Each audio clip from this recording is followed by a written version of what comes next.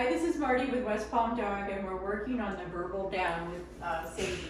And by that I mean that I want my dog to learn how to lie down just because I use the verbal command and not because I point to the ground.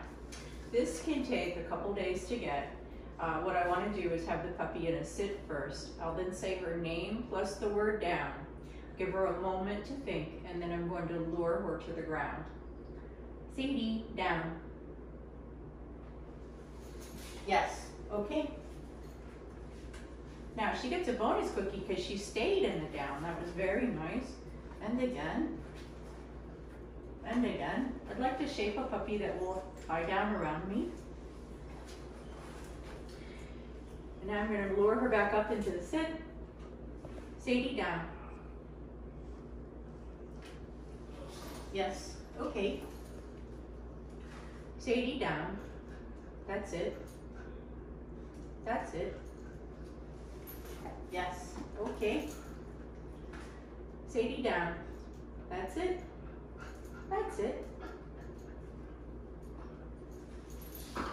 Yes, okay. All those little muscle movements mean that she's thinking and that she's on her way to getting it. Sadie down.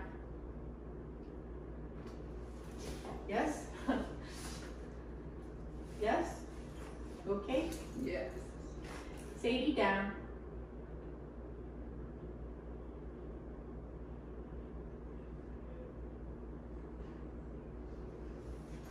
Yes, okay.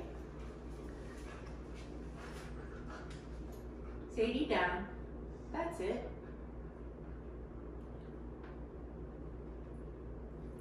That's it.